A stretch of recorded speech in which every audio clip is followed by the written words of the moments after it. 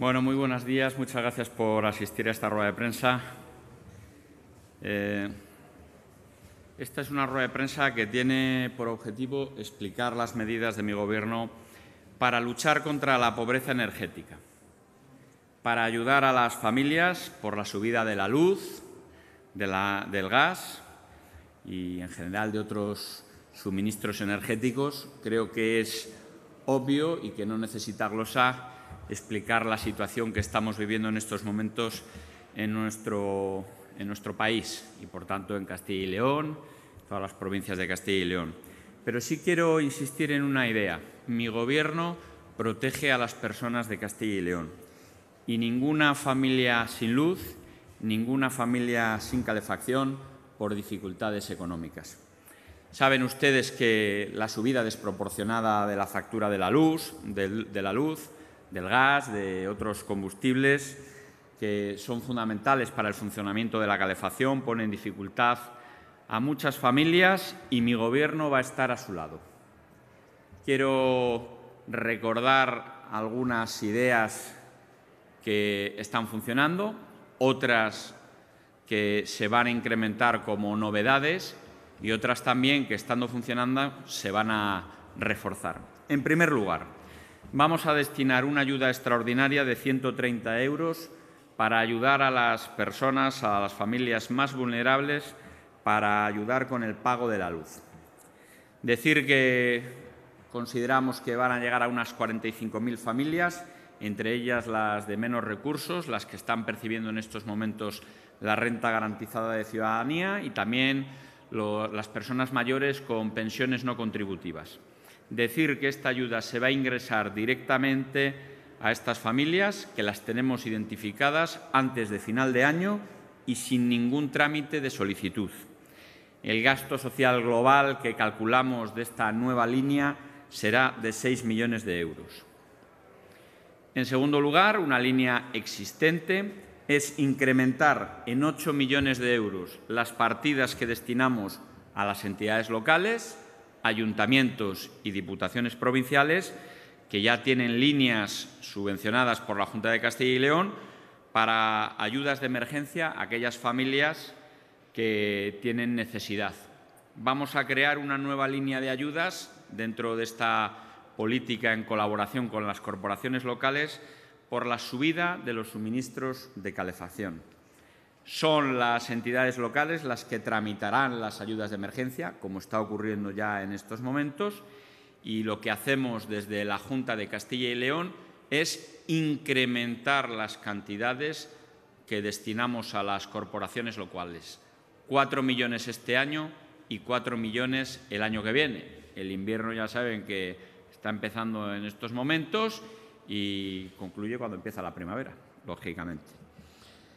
En tercer lugar, vamos a reforzar los convenios con las empresas suministradoras para evitar cortes por impagos a familias que estén en situación de dificultad económica. Estamos renovando los convenios con las empresas suministradoras Iberdrola, Naturgy, Repsol y estamos preparando un nuevo convenio para incorporar a esta línea a Endesa.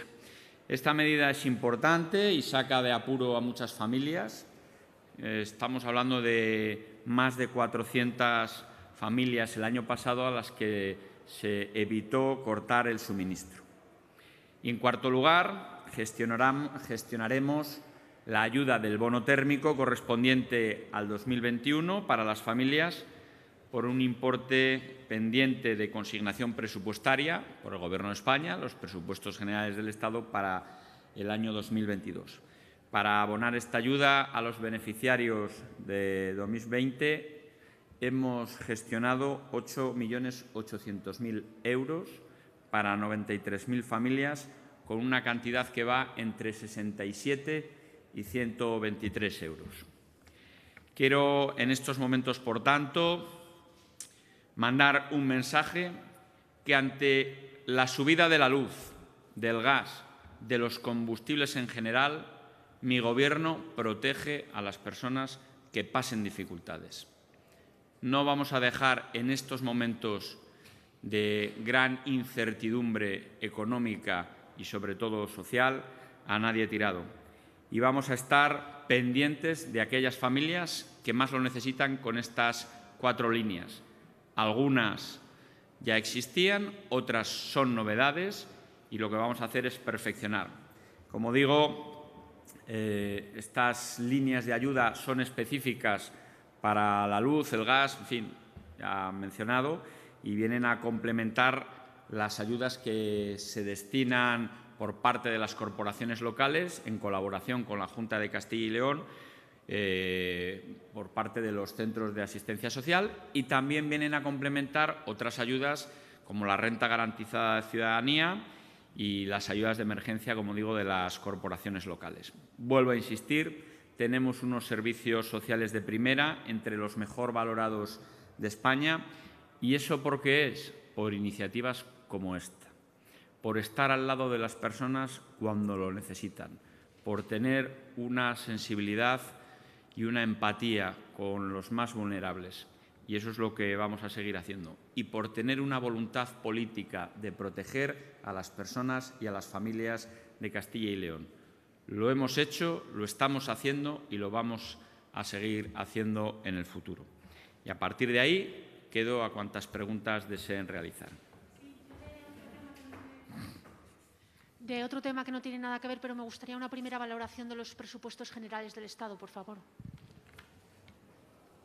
Bueno, a falta de eh, conocer con detalle las cifras de los presupuestos generales del Estado, de lo que conocemos hasta ahora, entiendo que no son los presupuestos que necesitan las familias eh, eh, españolas ni la economía de nuestro país y, desde luego, no cumplen las expectativas de Castilla y León creo que hay mucha ideología y poca eficacia.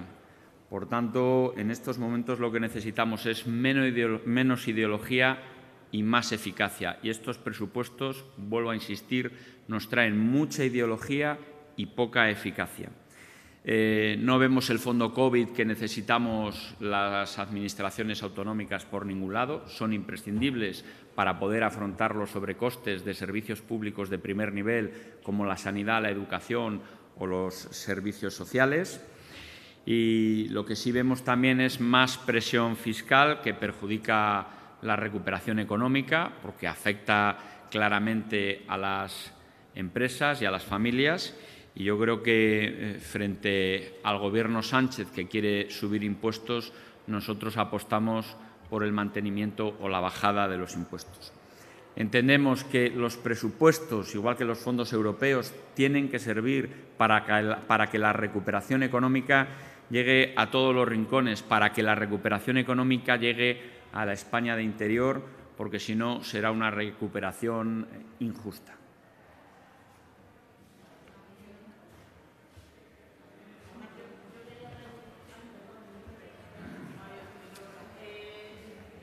Eh, teniendo en cuenta dónde estamos, con Juan Andrés, eh, esa promesa del Museo de la Inmigración que se hizo hace tiempo en Zamora, no sé si se ha dejado atrás, si es algo que, que está todavía en agenda, ¿en qué momento está? Bueno, eso es una idea, como saben ustedes, muy importante para Castilla y León y para Zamora. Yo creo que son muchos los proyectos que hay en la, provincia de Zamora en, de los que estamos trabajando la Junta de Castilla y León. He citado en mi intervención el Conservatorio de Música, va avanzando por buen camino el Museo de la Semana Santa, estamos trabajando también en el Centro Cívico y, por supuesto, en otros proyectos fuera de la propia ciudad de Zamora. Y ese es uno que nos incorporamos de cara al futuro o más que incorporar, retomamos de cara al futuro.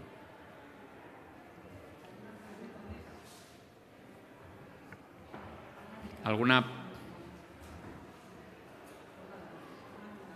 Pues muchas gracias.